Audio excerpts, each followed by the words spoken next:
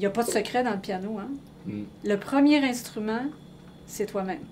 Tu vas faire un travail sur toi. C'est bien dit.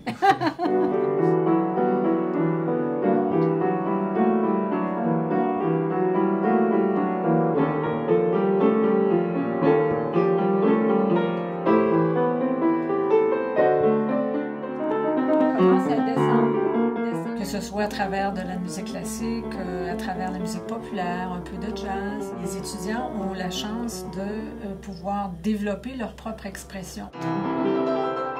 Pourquoi est-ce que tu aimes Bach? Jouer back, c'est comme aller à l'école un peu.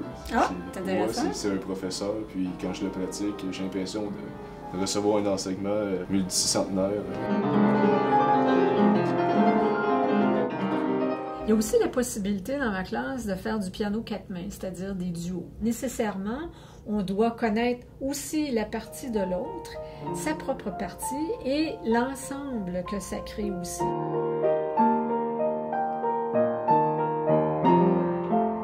Mais ce qui est important, c'est de développer le lien avec la musique. C'est le rapport qu'on a avec euh, l'instrument. J'offre ici une méthode de travail pour que l'on puisse être capable de se débrouiller tout seul sans qu'on ait toujours quelqu'un pour nous accompagner. Essaye de, de redescendre un petit peu plus quand tu... Sais, pour ici arriver vraiment, c'est écrit tranquille. OK.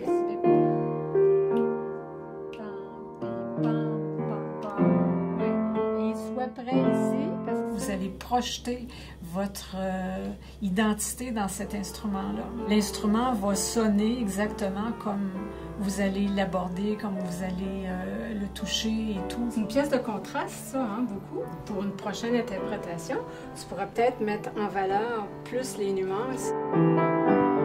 Ouais! Yes! Là, tu nous as fait voyager. Hein? Là, tu nous as amené quelque part. Qu'un débutant commence à faire ses premières notes, c'est pour moi extrêmement touchant, aussi touchant que de voir quelqu'un de très avancé qui, qui, va nous en mettre euh, plein la, plein, plein la vue.